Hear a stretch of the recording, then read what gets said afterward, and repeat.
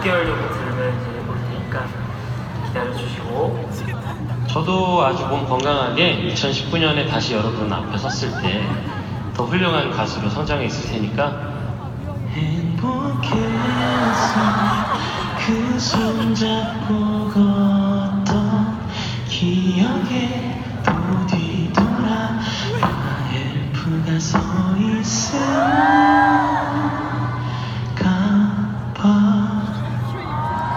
뮤지션이 뭐예요?